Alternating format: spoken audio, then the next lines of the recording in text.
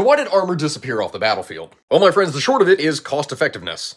You see, from the medieval period going into the Renaissance, armor was getting progressively heavier and heavier and heavier.